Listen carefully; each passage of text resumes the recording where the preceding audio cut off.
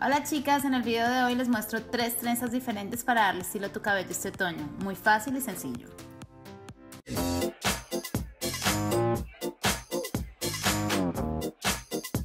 Antes de empezar, hidrata tu cabello para evitar enredos. Andrea está usando el Omega Reaper con aceite de omega de Schwarzkopf.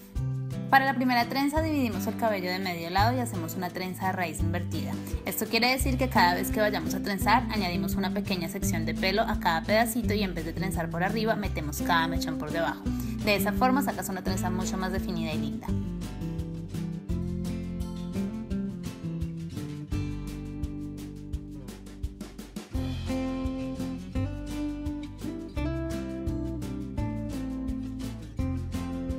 Continúas trenzando hasta el final de la oreja y cuando llegues a esta parte, si quieres puedes terminar la trenza hasta abajo.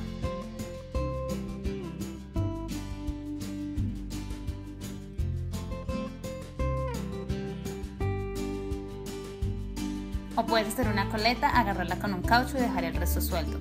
Si quieres, puedes ocultar tu cauchito con un pedazo de tu mismo cabello y lo aseguras con un ganchito y listo. La jalas un poco de cada lado para que se vea más gordita, desordenas un poquito y ya está. Para la segunda trenza divides el cabello por la mitad y haces una trenza igual que la del primer peinado, desde la raíz y las trenzas de manera invertida.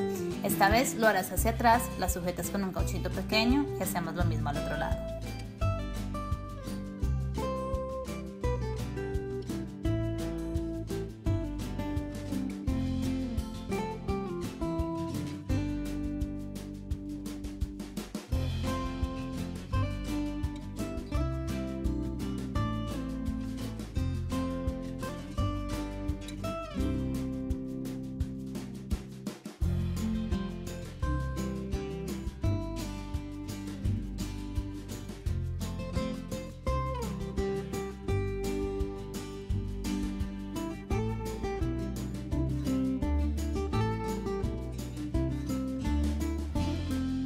Unes las dos trenzas atrás, sueltas los cauchos que habías usado para asegurar, desordenas un poco las trenzas para que se vean más gorditas y con más volumen y listo. Tienes un peinado perfecto para una ocasión más formal o romántica o incluso para el día a día.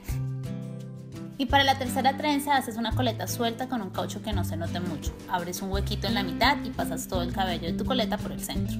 Y ahora vas a hacer una trenza de espiga. Para esto divides el cabello en dos secciones iguales y coges un mechón delgado de la orilla de una parte y lo pasas para el otro lado. Tomas otro mechón del lado opuesto y lo pasas para el otro lado y así sucesivamente. Esta trencita toma más tiempo pero es muy fácil de hacer. Si quieres puedes pasar todo el cabello de la coleta para adelante y seguirla haciendo desde ahí para que no te canses tanto.